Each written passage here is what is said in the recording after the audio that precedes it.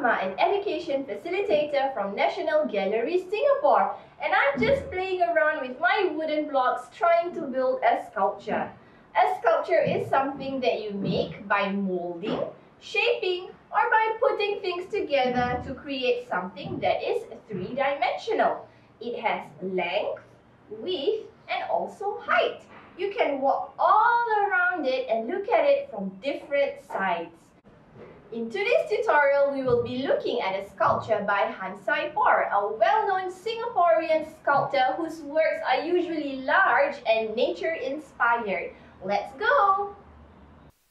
This sculpture by artist Han Sai Por is titled Extinction Series 11 and 12. You can't quite tell from this image, but actually this sculpture is quite big. It's about 1.53 meters tall. That's roughly about the height of a primary 5 child. Let's look closer at this sculpture. What do you see?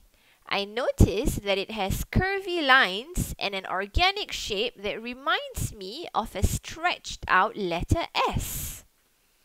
If this sculpture could move, I imagine it to be swaying to the rhythm of a gentle breeze. What about you? What does this sculpture remind you of? It's always fun to imagine what organic shapes remind us of. It's kind of like cloud watching. I think it's really cool how the use of organic shapes and curvy lines can make a sculpture seem like it's moving. Let's try it out too. We can make a sculpture using materials that can be found at home. To build our sculpture, we will need a recycled bottle. I'm just using an old shampoo bottle. Find something around your house you could use to weigh your bottle down. This is just to stop your sculpture from tipping over when it's done later. Beans or sand work well. A funnel to pour it all in. Craft wire if you have, otherwise better still pipe cleaners. It's more flexible and easier to shape masking tape, and foil which you will need to cut into strips later.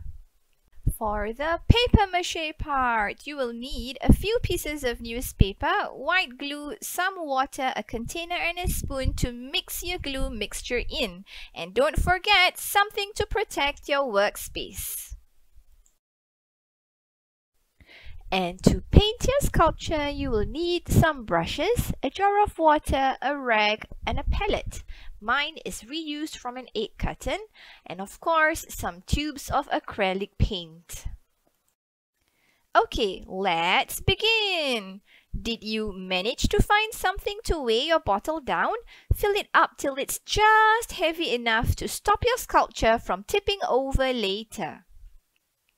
Okay, here I'm sealing my bottle with foil and tape because originally my bottle came with a pump and not a cap.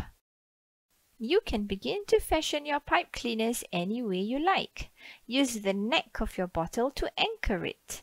Then extend your pipe cleaner by adding another one. Play around with it to see which arrangement you like best.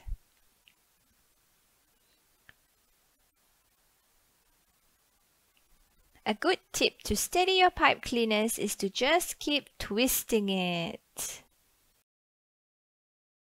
I'm happy with how my pipe cleaners have turned out and now I'm ready to secure everything down with my good old masking tape. Using your strips of foil, cover the negative spaces formed by your pipe cleaners. Wrap them up and pinch around a little so you can closely follow its shape. Keep going till all your pipe cleaners are all wrapped up. Mine's all done, so that means it's time for paper mache. To get your paper mache party started, begin by tearing your newspaper into strips. Thinner strips are better for smaller areas like around your pipe cleaners and wider strips are better for around your bottle. Paper mache is so much fun, but it can get a little bit messy, so it's best you protect your workspace well. To make your glue mixture, pour out some white glue into your container. Then add in just enough water to thin it all down.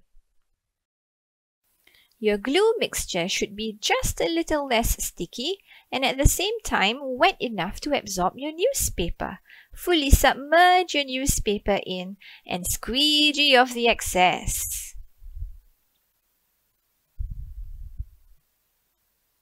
Squeegee twice just to be sure.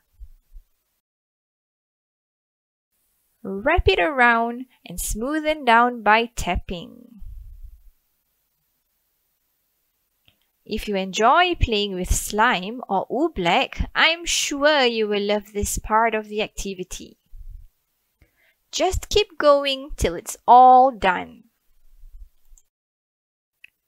It's easier to use thinner strips around your pipe cleaners. Tear off the excess if you need to.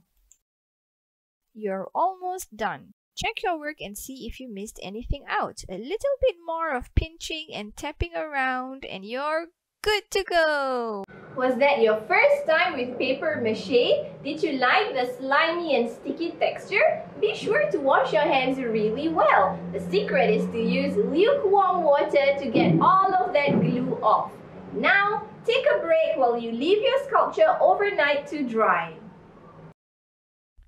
Alright guys, hope you had a good rest. Now, on the next day, check if your sculpture has dried up. If it has, then it's good news. We can begin painting it. Ready your paint materials and choose the colors that you like. You can also mix them around to find your perfect shade. Only one thing left to do now, color your sculpture. At first, I only wanted to use one color for the whole sculpture, but then I got carried away with mixing my colors and so I added another and another. Look at all these lovely shades I found just by playing around with my colors.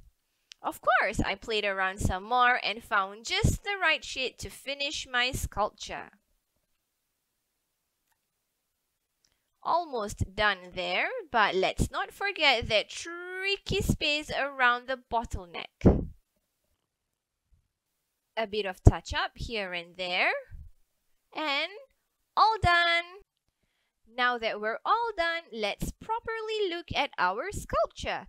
Did you also use organic shapes and curvy lines? What does the shape of your sculpture remind you of? I think mine looks a little bit like a pineapple or maybe a sea creature. I wish I could see all of your sculptures. I bet it looks amazing. I hope you guys had as much fun as I did making the sculpture. Thank you for joining me and for now, bye-bye!